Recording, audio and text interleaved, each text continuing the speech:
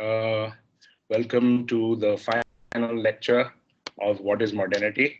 Uh, let me just share my uh, presentation with you uh, so we can begin.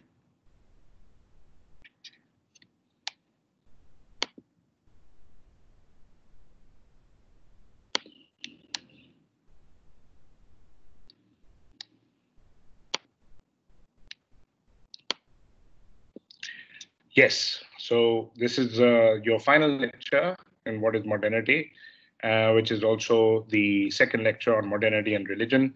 And in this lecture, we'll be focusing on Islam, a Semitic religion. That's the chapter from Tomoko Masuzawa that you were assigned this week.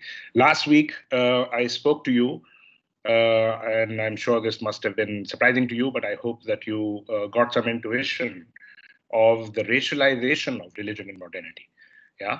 Um, uh, especially along, that's what I spoke about, especially along the Aryan Indo-European uh, uh, and on the one hand and Semitic axes on the other.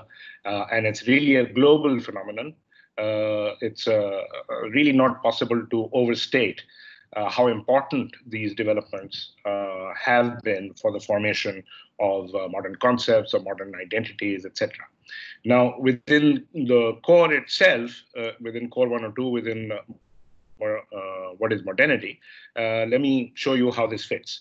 So you could see core 102 as a series of historicizations of key modern categories. Yeah. so categories that we take to be natural yeah, we now see uh, at the end of this course have emerged, uh, absolutely key categories have emerged in this modern period. So first, in the first module, we historicized the idea of progress, which is so important to all of us. In the second module on political modernity, we uh, historicized nation, ethnicity, race, and the state, the modern state, which is, of course, all of these are closely related to each other. Third, we historicize the economy. All of us think that the economy is simply natural. Uh, now we see that the very idea of the economy and the, the economy as a space itself emerged in this period. Then we historicize the idea of the environment. Yeah, so uh, the environment is not something that is separate, an object out there is very much part of history and of uh, our very uh, social and political and world historical being. Yeah, uh, and then finally in the last module we historic we are historicizing uh, religion slash nation slash race. Uh, which I, uh, I hope that you now have a sense are really closely related concepts, yeah, concepts that are closely related to each other, and I'll illuminate that more in the course of this lecture. Now, it's uh, important to understand, and I hope that current events uh, globally really uh, are illuminating in this regard as well. Uh, modernity is a racial order. Yeah.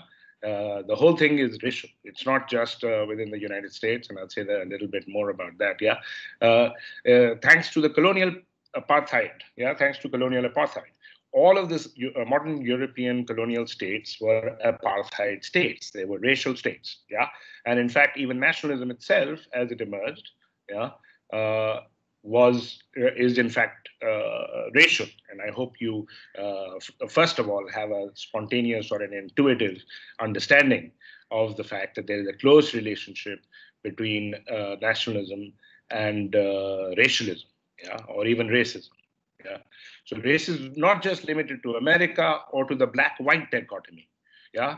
Uh, in fact, you can think of uh, this uh, modernity, yeah, the modern period, uh, and this is how uh, you know uh, discourses are organized, institutions are organized, governments are organized, our social lives, etc., are organized. There's a world historical competition of races slash slash civilizations. Yeah. So that's a racial order, and on the other hand, by apartheid government as I said early uh, uh, earlier as well yeah, and you read Mamdani. So the racialization is not just limited to the black-white dichotomy, but the entire space of colonial society, colonial rule, and then post-colonial societies which inherit uh, those institutions, etc., knowledges, yeah, uh, the apartheid government, yeah, was a racialized government which divided not just between the colonizer and the colonized, made a racial distinction between the colonizer and the colonized, but also racial distinctions amongst the colonized, yeah.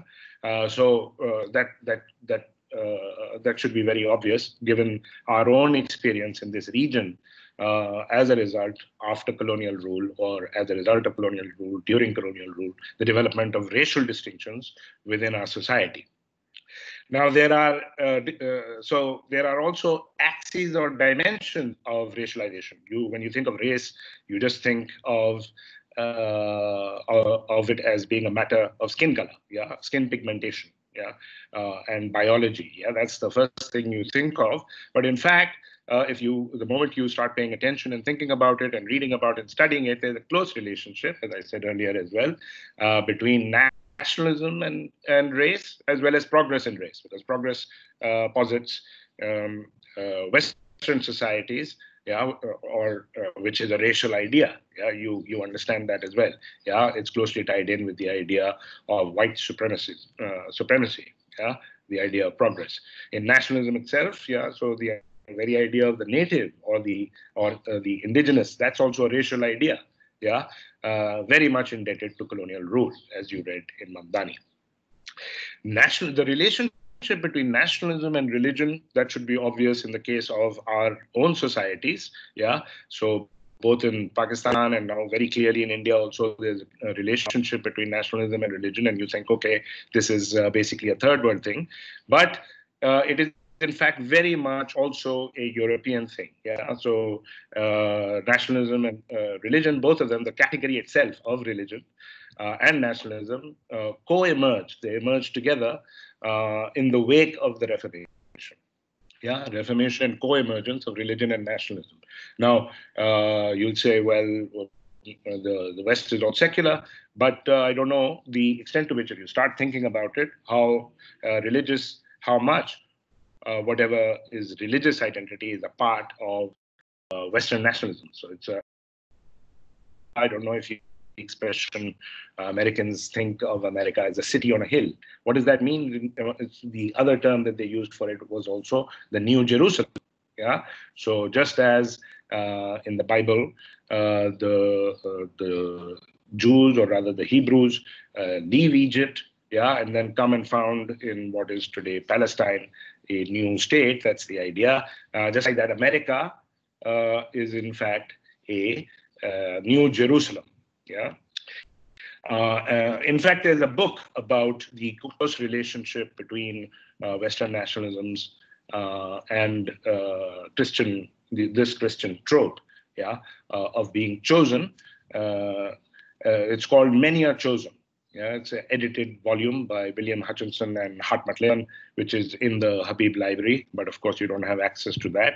Many are chosen. Divine election in Western nationalism. So uh, it's also common, this is part of our anti-Semitic way of thinking, yeah, it's common for us to think that the idea of the chosen people is a Jewish idea. Well, actually, both this idea and the Zionist idea are actually Christian ideas um, and uh, that especially became prominent in the wake of the Reformation and are, uh, you know, very, very prominent uh, in the history of these nationalisms. Yeah, these modern nationalisms. There is also a close relationship between nationalism and language. You know, that should be very, very obvious. After all, the Hindi-Urdu distinction uh, which really emerged from the 1870s. Yeah, so under colonial rule after 1857, uh, uh which you of course all know about, in the 1870s with the All India Census, which was the first All India Census. There were no, this is a modern governmental technology. There were no censuses in the past. Yeah. So the first census took place uh, in 1871, 1872, and right in uh, right after that, the Hindi-Urdu distinction. Uh, there's a close relationship between colonial institutions, uh, which uh, is not just limited to the census, the colonial governmental apparatus um, uh, that was uh, set up earlier, but also uh, new institutions that were set up, including the census, institutions of government, yeah, governmental institutions.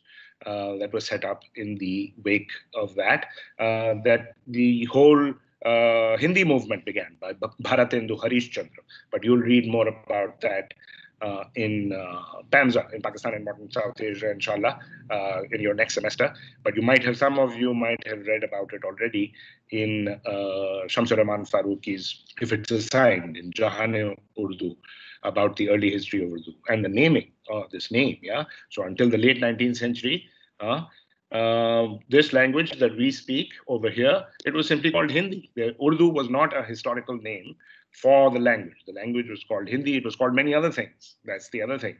Uh, you know, it was called Gujri, for instance, uh. Yeah, there were many names. So it's this modern idea that a language has to have one name. Why should it? I mean, there are every language has many, many different forms and dialects, etc. Why should it have just one name? Yeah. So this is also part of this modern monolingualism, which I was uh, pointing out to you in the last lecture also, that it's a metaphysical, we moderns are uh, metaphysically monolingual. Yeah, we have this, uh, and it's closely related to nationals. Yeah. So the, the, close relationship between nationalism and language, and a close relationship between religion and language. After all, the Hindi-Urdu distinction, yeah, uh, which really makes very little sense the moment you start thinking about it, because uh, it's not two separate languages. How can they be two separate languages when we understand uh, the, the language? Yeah, or how can a language have a religion? It doesn't make sense. It's a modern idea that uh, the language has a uh, has a religion yeah? Uh, or, and even scripts have a religion so in the main as you know the main distinction um, between uh, hindi and urdu uh, is really the script. Yeah? So the uh, devanagari is uh, hindu somehow. Uh, i mean this is also unprecedented. Yeah? So why would you think that a script has a religion? Yeah? Or and the perso-arabic script yeah? And of course our script over here uh, has many letters which are not included in Persian or in Arabic. So that's another part of it. Yeah, because of course we speak Hindi, but by by the lights of modernity, language has a religion, even scripts have a religion, as is obvious in our region. Yeah, uh, so that's also part of the racialization, and that's the major theme uh, of Masuzawa's text, the reading that you've been doing, is this remarkable relationship between religion and language uh, that emerged as a result of the modern science of language, uh, modern linguistics or uh, philology, yeah, as it was initially called. Um, so uh, in within this, I'm now going to read to you uh, a couple of sections to uh, analyze from the section on the supremacy of infl inflection. Yeah, so you know if you uh, if you've done the reading and you've been discussing it in class, that uh, says that the main distinction, that the reason that uh, Indo-European languages were thought to be superior, it sounds very bizarre today, yeah, uh, were thought to be superior to other languages, yeah, uh, uh, especially Semitic languages, um, but not just, yeah, uh, was because the, a, fe a, feature of the language of Indo-European languages, the grammar of Indo-European languages. Uh, it's uh, really uh, quite remarkable if you think about it. Yeah. Um, now th this implies, yeah, so that, that the the language, of course, as you learned, yeah, this comes from the fact that language is thought to be absolutely essential by these modern thinkers. Yeah, uh, absolutely essential to, as one of them says, the soul of a people. Yeah, uh, this is also a modern idea that the people have a soul. Yeah, uh, if lang- uh, so I, I, I want you to think about whether this makes sense or not. Now this has become common. Um, uh, this has become a common assumption amongst us. Yeah, uh, people in the past, uh, for instance, didn't think that Islam is a language, but we moderns think that Islam is a language. Yeah. Uh, so obviously, this is a very, very common idea amongst us now that language is somehow essential to our being. Yeah. Uh, this is a quote from a 20th century philosopher, actually somebody who I've been very influenced by, and he says language is the house of being. Yeah.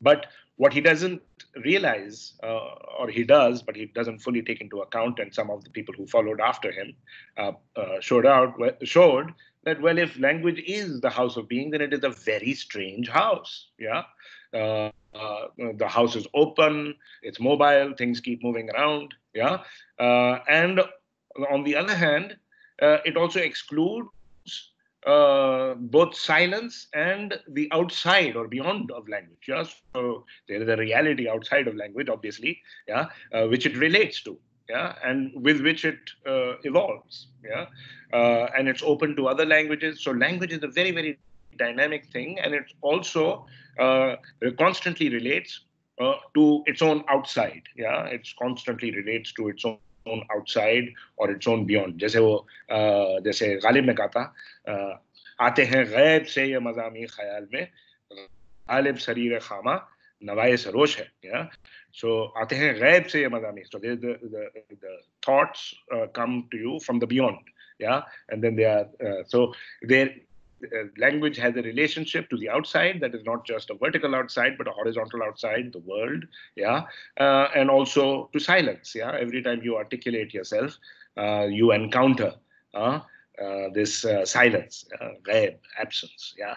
And it's in the midst of that yeah? So never forget it yeah? So uh, even if language were essential in some way, and of course most people are non-monolingual uh, in fact, yeah, uh, but certainly not historically, yeah, uh, then they would have multiple essences, yeah, uh, and those essences themselves uh, would in fact be dynamic, yeah, uh, and not static. So uh, to get you to see more clearly, yeah, the some of the ideas. I'm just going to repeat some of the passages. I'm going to read some of the passages and emphasize uh, certain of the things to point out the racial character of this language ideology that Tomoko Masuzawa is trying to show us. Yeah. So this is from the section uh, on the supremacy of inflection uh, from page 168. She says, most immediately, a family of languages, this is what it says, yeah, this is the word, these are the very words that we use. A family of languages implies a distinct genealogy. Once again, that's, uh, you know, these are all uh, things that you should be thinking about that imply uh, the racial character of a language.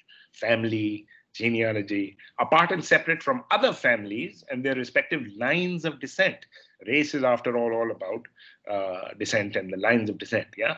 So the notion of linguistic families thus had the effect of suspending and transferring to another plane the controversy that was soon to, uh, to erupt over the single versus multiple origins of the human species. This was a very, very important debate that took place uh, in Europe. And there's a book about it uh, by Justin E.H. Smith, yeah, uh, about how racism emerged. And this was very, very important to it. Yeah. So uh, in the past, uh, uh, it was thought that, of course, that human beings had a common origin.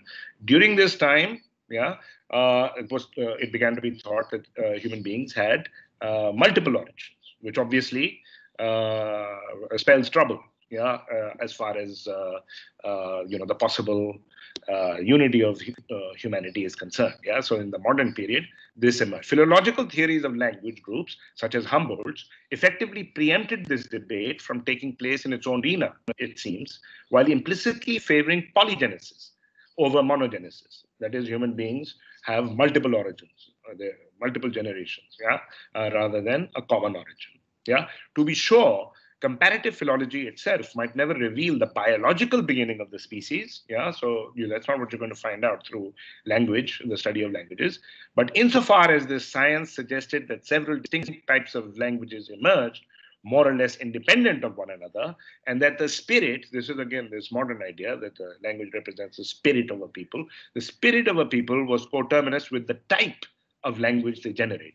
Yeah, they generated once again generated. Yeah, that's uh, uh, literally directly related to the idea of race, generation.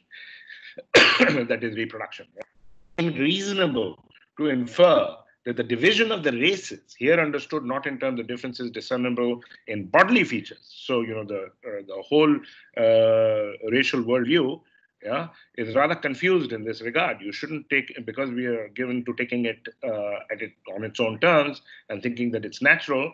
We don't recognize that in fact it's uh, totally incoherent. Yeah.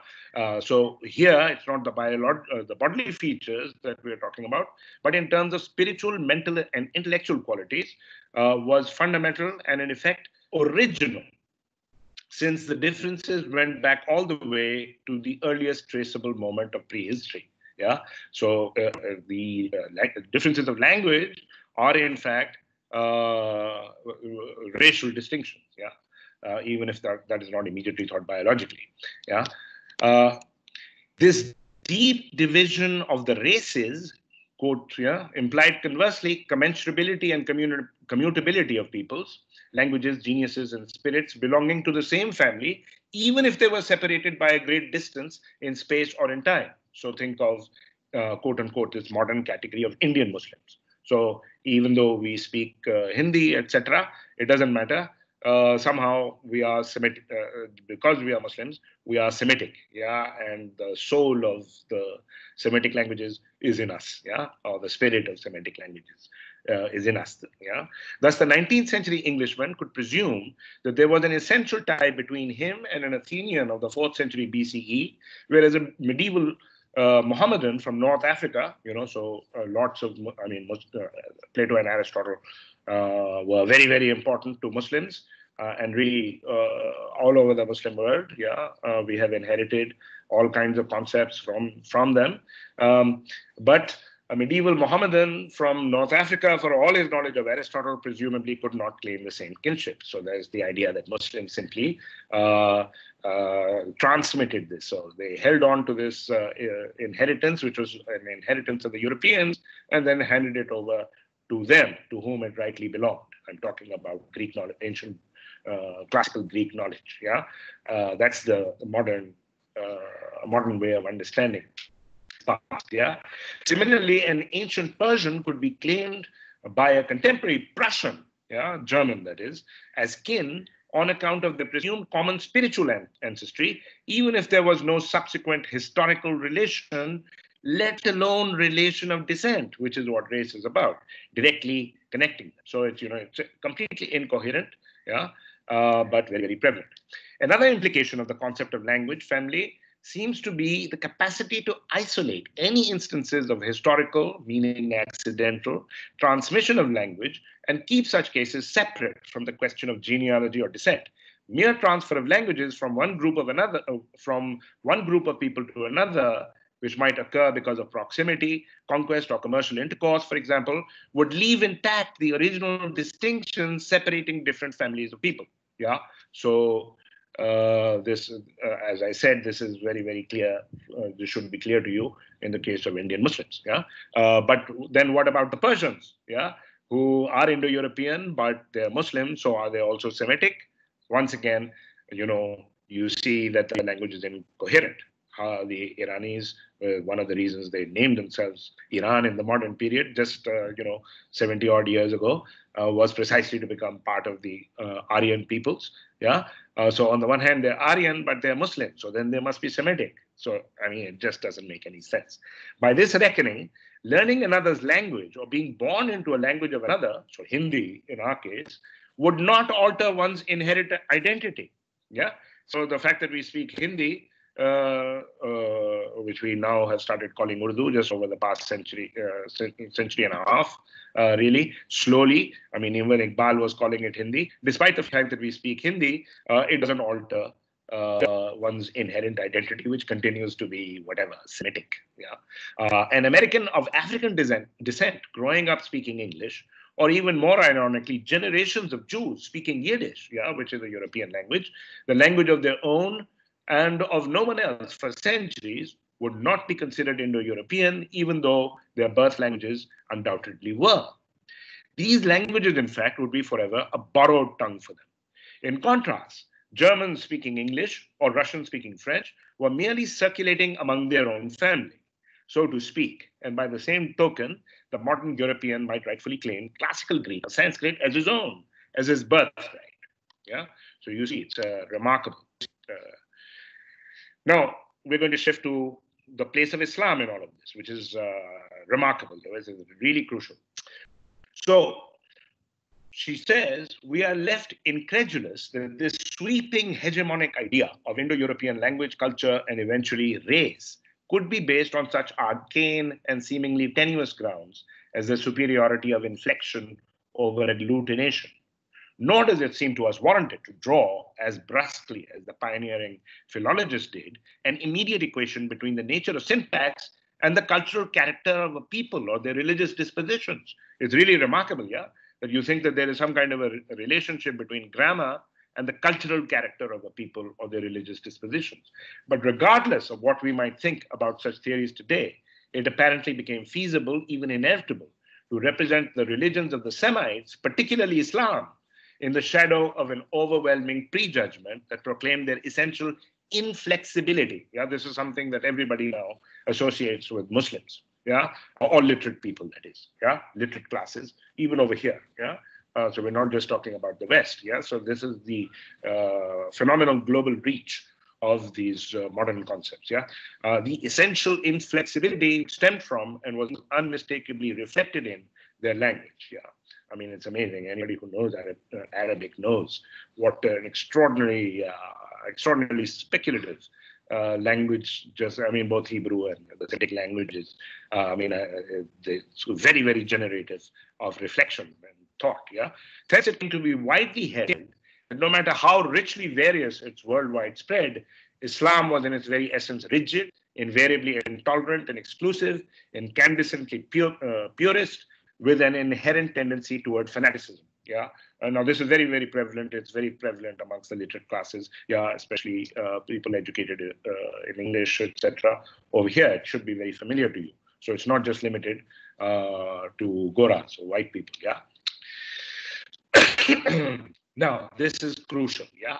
So you remember in Stuart Hall, you also read about the place of Islam. Yeah. Uh, in uh, in the uh, construction of modern European identity. Yeah, so uh, that's the uh, chapter that you read right at the beginning from Stuart Hall, in which he talks about the fact that Islam constituted a barrier, yeah, for centuries on end for Europe. Yeah, uh, in the mind of Europe, but also quite physically. Yeah, and as a result, the two, I mean, the two, of course, are related. Um, but then, of course, this changed very, very dramatically in the modern period. Yeah? 18th, 19th centuries, yeah, uh, especially. Concurrent with this turn of events is a marked change in the image of, of Muslims. Once represented in earlier centuries by the figure of a languid, indulgent, and dissolute Muslim, yeah, so that's what they used to think of Muslims when they used to think of us uh, in that uh, before the modern period or in the even into the early modern period, epitomized by the fabulously rich, uh, corpulent Ottoman pasha wrapped in silk, lounging in his harem, surrounded by all manners of pleasure-giving accoutrements. Yeah, uh, this is the way we also think of our own Muslim uh, past. Yeah, um, the medieval past. Yeah, the quintessential Mohammedan now turned into a fierce zenith. Yeah, uh, this is in the modern period, especially in the 19th century, which we are still uh, living with. A sword wielding, camel riding, desert nomad. He is an Arab. Yeah. Uh, here, one might be suitably reminded that in the 19th century, just as now, the total population of the Afghani, Persian, and Hindustani speaking Muslims, who therefore were Indo Europeans, yeah, that's what we are uh, uh, by this hypothesis, combined with the Ottoman Turks and other agglutinative language speaking Muslims of China, Indochina, and the East Indies, uh, were together far more numerous than Arab Muslims. I mean, most Muslims in the world do uh, do not live in the Arab world, uh, do not know Arabic, yeah uh, but uh, somehow the, i mean as as i was telling you uh, uh one uh, modern of course modern arab actually said to me somebody with a phd from nyu no less yeah uh, said to me well i don't understand how people who don't speak arabic can be muslims. Well that makes most muslims in the world not muslims yeah. From this point on on however in the European mind, and not just, of course, because we are all caught up in the European mind. Yeah, the European mind is not just uh,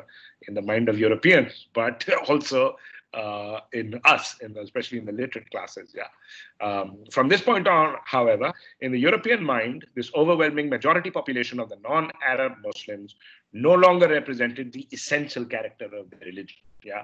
Uh, we all think this now. Yeah, as if there is some essential character uh, to the religion.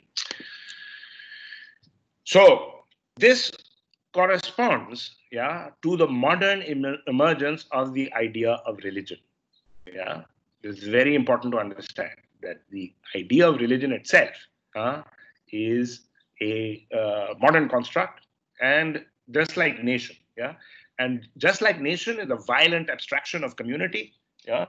It's, uh, I mean, you know, I'm supposed to have some kind of identification, yeah, with over 200 million people who I've never seen, yeah, in fact, I know nothing about them, really. I mean, I know nothing about all the people, all the different kinds of peoples who live in Pakistan. I know very, very little. Yeah. Uh, but supposedly, we're all one. Yeah. It's a complete abstraction. Yeah. Just because we are Muslim. And we're not. I mean, it's just all uh, quite bizarre. Yeah. So not only is nation a violent abstraction of community, religion, just like this modern concept of nation, this modern concept of religion, is a violent abstraction of community faith practices. Yeah. I mean, or whatever is called Islam, you know, I mean, it's the sheer diversity of it um, over the entire planet, yeah, uh, is remarkable, yeah. Uh, this objectification of religion, yeah, as if religion, just like the objectification that we were talking about of the economy, yeah, uh, and we've talked about the objectification of the nation, there's also the objectification of religion, yeah. Uh, it's a destruction of complexity, relationality, history, yeah, uh, that that's what's entailed. Yeah, there's now a large literature on the modern invention slash construction of religion. Yeah, uh, and uh, here are some uh, titles. Yeah. You can later look at them because you have the video. You can pause it and see all the different titles over here. very recent, starting in 1993 uh, start, just over the past, uh, just over a, a, quarter century, yeah, uh, uh this uh, has, the, this literature has been accumulating, and really now there are just so many studies and very very fine studies. I mean, this is not an exhaustive list, yeah. Uh, there, there, there are also some other new texts which are really groundbreaking and very very illuminating, yeah. Um, so large literature on the modern invention slash construction of religion, uh, and it's part of the emergence of modern European ethno-consciousness. That's what uh, that's the term that, uh, uh, uh as you know, nationalism emerged first in in Europe. Yeah, we studied that, and ethno-consciousness. So religion was part was part of that. Yeah, all of Europe was divided yeah in the wake of the reformation there were wars that lasted for you know very very long period of time and in fact the ideas of uh, nation uh, and nationalism emerged together uh, with the division of Europe into Catholic and Protestant. Yeah, uh, these uh, uh, identities were very much part of that. Now, also you should see, yeah, how prevalent religion talk, religion talk uh, is in the modern period. It's because religion has now been closely related to nationalism. In the past, people didn't talk about religion like this all the time. Yeah. So, I mean, uh, literally, in probably in just a single day, uh, the word Islam is used more often uh, today than it would have been used in like I don't know 1200 years right uh, of history. It was just not discursively very important. Yeah, Islam, for instance, is not is not a very common word. You can just go and look uh, yourself in the Quran. The Quran, if it was if it was what it was all about, as it were, uh, Islam, then you would think that uh, both the Quran and the Hadith were, would constantly be talking about it, but it hardly even mentions it. And it mentions it in a very different sense. Islam is not as a, a religion, but as a disposition. Yeah. So, for instance, the Quran says, you know, momino uh, Islam karo. You know, those, those of you who believe, do Islam. So Islam is something that you do. It's, a, it's an activity and a disposition. Yeah, uh, not a uh, religion. Religion as a this has to do this modern thing religion has, has become a political and national identity, yeah? um, something that is identical to you, uh, to itself. So now you think Islam is part of your identity, yeah? But Islam stands as a challenge to you. Islam is something that you want to do. You know, Muslim is Uh, it's a, it's some it, it's something for you to aspire to. Yeah, it's not it's not something that is already given. Yeah, uh, for you. So uh, that's the problem with this modern concept of identity, uh, which I've spoken about before as well.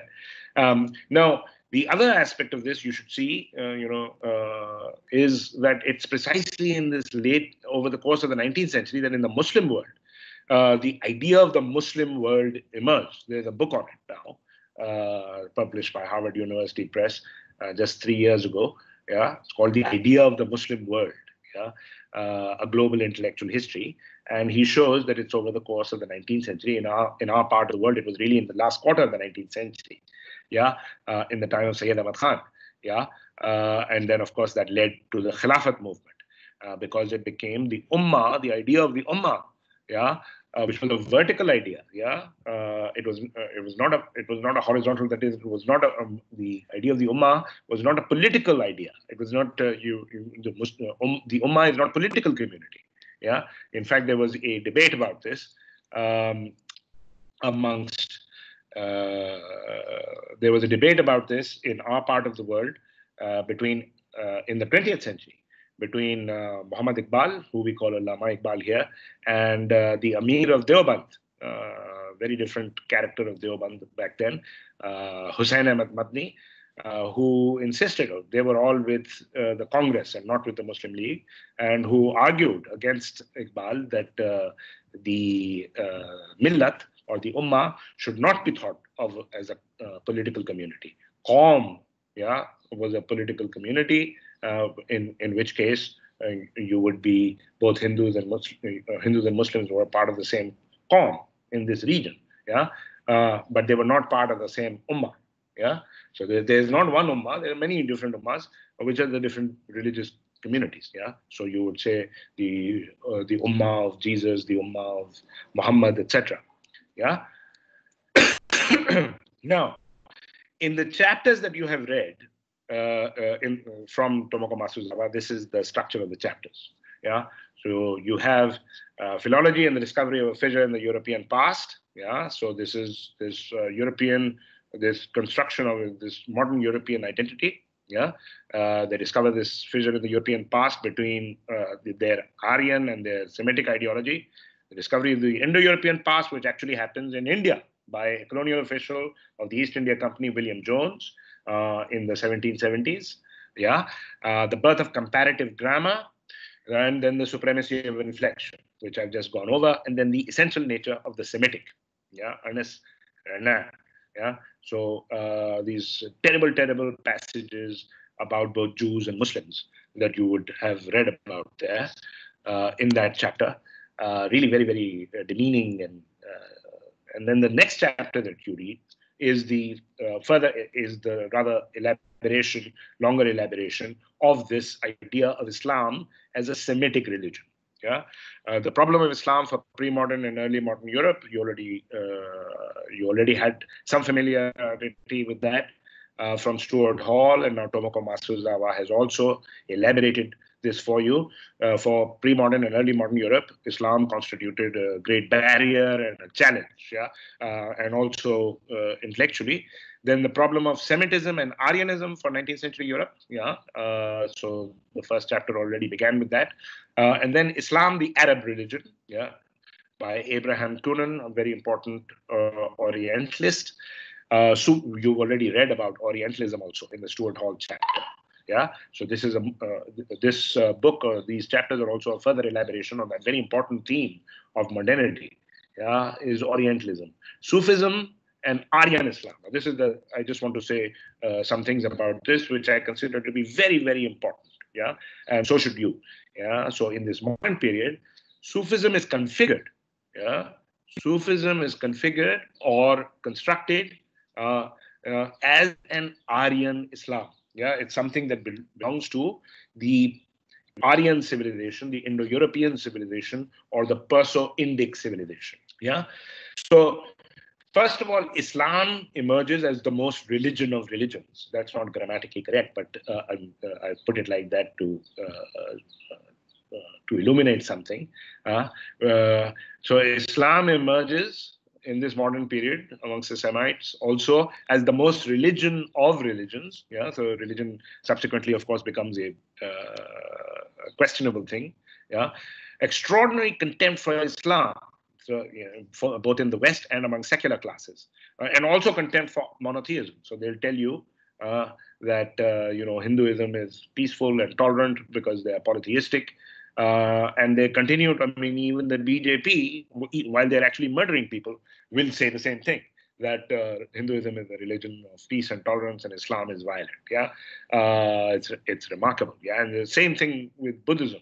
Yeah, so Buddhism is the in the modern period has been constructed as the religion of peace uh, par excellence. Yeah, and therefore the most uh, like the West. Yeah, uh, but and this is despite the fact, of course, people continue to think this despite uh, nationalism, uh, Buddhist nationalism, extremely violent Buddhist nationalism in Sri Lanka, leading to massacres. I mean, really a genocide um, over this modern period. Yeah, uh, in the uh, uh, in the post-independence period, uh, with the emergence of modern modern Sri Lankan nationalism, which is Buddhist. Yeah, and also in Myanmar, you can literally see, I mean, just like in uh, Sri Lanka, Buddhist monks tearing apart uh, babies. Yeah, I mean, over there, uh, killing with machetes. Yeah, uh, Hindus uh, uh, in Sri Lanka and in Myanmar, Muslims. Yeah, you know about this, the Rohingya, of course. Yeah, they're Buddhist monks. Yeah. Um, but yet these ideas are so deep yeah, that they continue to exist. The, the, they practically cannot be uh, falsified. Yeah. Um, so it leads to tremendous this uh, dichotomization, this racialization also leads to tremendous cognitive confusion. Yeah. Uh, and for your amusement, I thought I'd share with you. Oh where did it go? I forgot to attach it. Uh, uh, I, I, had attached a little post uh, from the other day in which I was talking about this tremendous confusion that exists amongst the uh, amongst Pakistanis, literate Pakistanis who think that Islam is Arabic. So, in fact, uh, you know, they try to adopt all kinds of um, uh, all kinds of uh, both Arab pronunciation, Arab dress. They write Al Pakistan on their cars, etc., because they think Arabic is Muslim. Yeah, uh, and uh, Arabs are the true Muslims. Yeah, uh, and on the other hand, they say all kinds of racist things about the Arabs. They call them Baddus. Yeah, uh, because and behind that is their sense that they belong to this superior civilization. Yeah, which is the Indic or the Perso-Indic uh, civilization, which is of course an Aryan civilization. Yeah, so uh, tremendous confusion amongst the literate classes uh, right here in Pakistan. But the other thing that this leads to is the minoritization uh, and co-optation of the tasawwuf. What do I mean by that? The Tasawwuf, Sufism, is not some minor sect or a regional uh, form of Islam. Yeah. Uh, uh, the Aryan Islam, as it's come to be thought of uh, in uh, the modern period. Yeah, uh, it is the contemplative dimension of Islam. Essentially, what has happened in the modern period, yeah, thanks to this racist language ideology, yeah, that we've all inherited, is that the contemplative dimension of Islam, and it's a very, very contemplative religion, yeah, uh, which should be uh, obvious, but it's not. All religions have a con- contemplative dimension.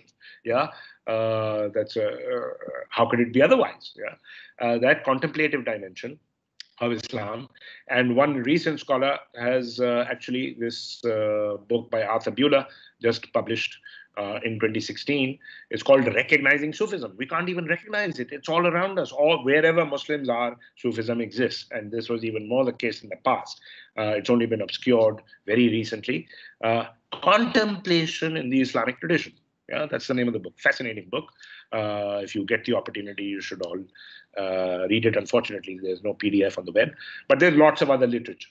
Yeah, to show you uh, the uh, prevalence. Yeah, after all, I mean, all the Sufi silsilas begin uh, with Imam Ali. Imam Ali himself, of course, because because the Prophet called him the uh, Babul Madinatul Ilm. Yeah, so it's a in, uh, he's the gate to the city of knowledge. Who the city of knowledge being the Prophet Muhammad.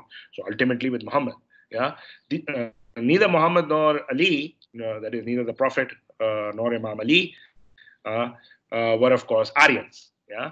Uh, and anybody who has read the hadith or read uh, Imam Ali's, deeply contemplative. Yeah, and of course, there's a long tradition of philosophy in Islam. Even our poetry is extremely philosophical.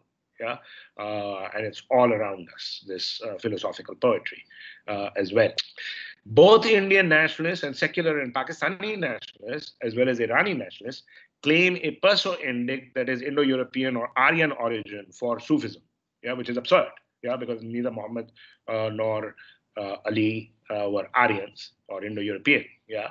And Sufism is all over the Arab world, even in Saudi Arabia. I mean, the Wahhabis have tried to destroy it, uh, but there's still only 15% of the population. Yeah, there's uh, uh, tasawwuf is very prevalent in even there. Yeah, I mean, how could it be otherwise? It's all over the Muslim world. so it's a deeply philosophical and contemplative tradition. Yeah. And what is the tasawwuf? Tasawwuf, I mean, it's, uh, you know, it's uh, how do you metabolize uh, the religion? Yeah. Uh, how do you digest the religion? Uh, you could think of, contem- that's what contemplation is. Yeah. Uh, it's learning how to live, essentially, your faith. How, how, how else would you, I mean, the religion, if it is a set of rules, does not tell you how to follow those rules. Yeah. Uh, for that, you need uh, you need contemplation. You also need an exemplar. Yeah. Uh, essentially, it's you know, tasawwuf is uh, philosophy as a way of life. It's a become godlikeness. Because so there's this Greek uh, from uh, the Greek school. The motto of Plato's school was homoiosis theoi kata to dynaton, which meant becoming like God so far as is possible.